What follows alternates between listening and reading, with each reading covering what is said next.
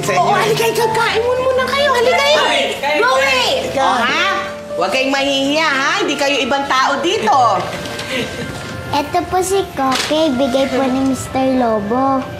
Ah, ganda naman, ano? Oo. Ah, oo, si Mr. Lobo. eh, yun nga eh, kasi itong si Guido, eh, nag-aalala, kaya ako na nagpresenta ngayon na dumito na lang kayo. Salamat po ah. Ay, eh, kumain na kayo! Halina na kayo! Hindi ako sanay na ganyan. Sigurado magugustuhan niyo yung kwarto, anak. Tinulungan pa mo. ni Elsa si Anisut gawin yung kwarto, ayusin yung kwarto. Hoy! Hinais ko pa yung kwarto nyo ah! Nilagyan ko ng flowers. Sipag-sipag po talaga kami titira ni Tita Louie. Oo, anak. Dito na kayo titira para lagi tayong magkasama. Pati sa pagbalik ni Mami, pagkatapos ayusin mga ginagawa niya. Oo. Oo naman. Siyempre, dito ka niya pupuntahan. Nandito ka eh. Ay, ay, ano pang iniintay natin? ay, ba kailangan kumain na tayo. Lumalamig ang pagkain. Kinain ka na. Kumain ka na para... Ang nagluto ng pansin. Sarap yan. Kumain ka na para tumubo yung bangs mo. Ben, I think we all need a break. I was thinking of us going to the beach. Kasi after all mga nangyari, mas mapapabilis siguro yung sigla ni Arlene at nating lahat.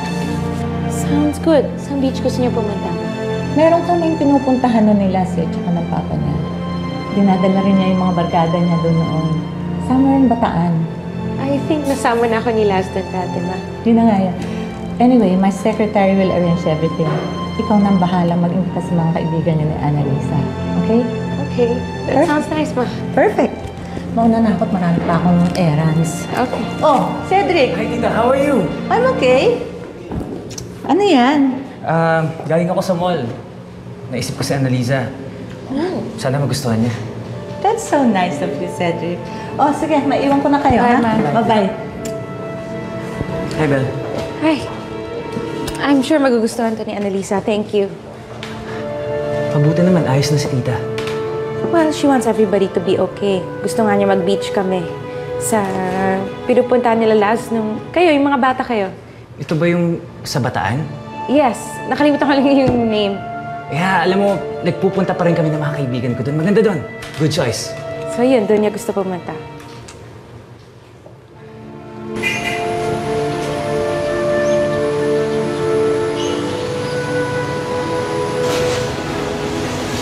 Chong, hindi mo nga nagagalaw. oh. Baka mag-emo dyan, ha?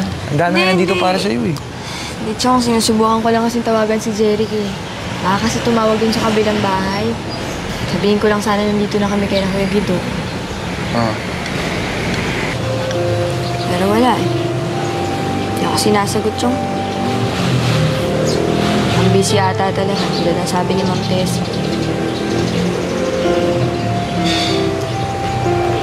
Siguro, subukan mo mamaya. Halika na. Baka matunog pa sa titig ko eh. Ha? Tuna? Ah, hindi, yung yellow ng soft drinks mo. Baka matunog. Okay. Ha? Tulungan natin. Salamat. Salamat po, Tito Cedric, sa binigay niyong stuffed toy. Mabuti naman na gusto mo regalo ko sa'yo, Annalisa. Good night po. Good night, Annalisa.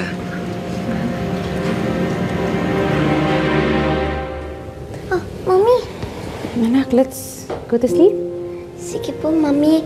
Ikaw din po, Mami. Magpahinga na din po kayo. Tsaka, wag na po kayo mag-alala kay Arlene. Kami na lang po ng mga friends ko ang bahala sa kanya. Basta, Mami, ha, FS tayo kay Arlene, ha? FS as in full support. Okay. Come on, let's go.